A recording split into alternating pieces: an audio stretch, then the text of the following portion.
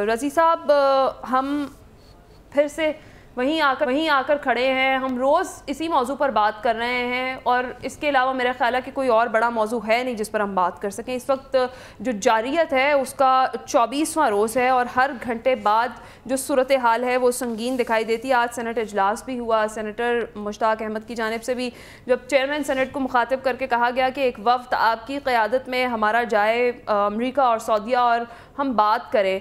तो रज़ी साहब, क्या अब वो पॉइंट नहीं है कि पाकिस्तान उठ के बॉयकॉट करे जब हम बात कर रहे हैं इसराइल का बॉयकॉट करे सफारती सियासी ताल्लुक ख़त्म किए जाए प्रोडक्ट्स का बॉयकॉट किया जाए एटलीस्ट हम ये कर सकते हैं। देखिए इस वक्त जो टॉप ट्रेंड चल रहा है ट्विटर के ऊपर वो है कि नो ऑयल फॉर इसराइल यानी कि जो आज़रबाईजान से ऑयल की पाइपलाइन तुर्की के ज़रिए गुज़र के इसराइल तक जाती है उसको बंद करने के लिए तुर्की जो है वो माइल है क्योंकि इस ट्रेंड का आगाज़ सदर रजब तैयब अर्दवान ने किया है कल अपने खिताब के अंदर।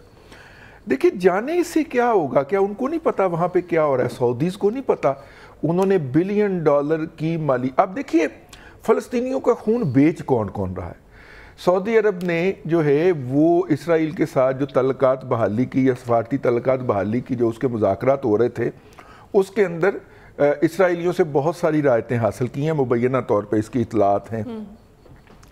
लेकिन इस अपने ईरान ने भाई अपने ऊपर लगने वाली तजारती पाबंदियाँ जो थी जो कि वैसे भी अदरवाइज़ हट जानी थी इस मौके के ऊपर अमेरिका में उनसे उससे रायतें ले ली हैं उसमें रायतें ले ली हैं।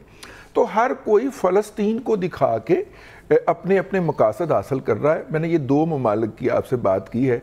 और अभी आपको पता चलेगा कि अफ़गानिस्तान के तालिबान ने भी चुप रहने के क्या वसूल किए थे। उनके भी डी फ्रीज हुए हैं कुछ अमाउंट्स जो हैं जो अमेरिका ने फ्रीज कर दी थी अच्छा। नौ ग्यारह से पहले वो भी कुछ डी फ्रीजिंग हुई है। तो ये सारे ममालक जो खामोश हैं ये फ़लस्तीनियों के खून के ऊपर और मैं जिन लोगों की बात कर रहा हूँ वो नज़रियाती हैं उम्मत मुसलमा की क्यादत की दावेदार हैं। मैंने तीन ऐसे ममालक का ज़िक्र किया है।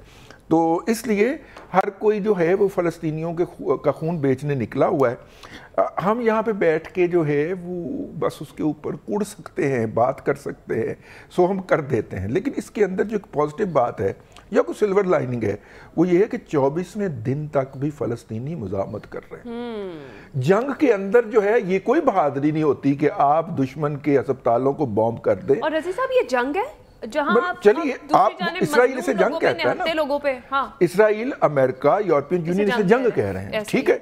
लेकिन जंग के अंदर भी ये बात की इजाज़त नहीं होती कि आप हॉस्पिटल के ऊपर स्कूलों के ऊपर बमबारी करते हैं। आप सिविलियन के ऊपर बमबारी करते हैं। आपको पता है एक एक इंच मैप हुआ हुआ है इसराइल के पास सैटेलाइट के ज़रिए और वो उसको मॉनिटर कर रहा है। उसको पता है वो जो हमास के जो मुजाहिद हैं वो कहाँ पे हैं? उसे पता है कि इस्लामी जहाद के लोग कहाँ पे हैं। वो चुन चुन के उन बिल्डिंग्स को टारगेट करता है, जिन बिल्डिंग्स के अंदर सिविलियन ने पनाह ले रखी होती है और जिसे अकवा मुतहदा ने बाकायदा पनाह करार दिया होता है कि यहाँ पे अमन होगा। यानी उसने कोई वहाँ पे गज़ा के अंदर चर्च नहीं छोड़ा। उसने कोई मस्जिद नहीं छोड़ी उसने कोई अस्पताल नहीं छोड़ा उसने कोई स्कूल नहीं छोड़ा। दो हज़ार से जायद बिल्डिंग्स हैं। दिस इज़ वार क्राइम ये कोई जंग नहीं है ये वार क्राइम है।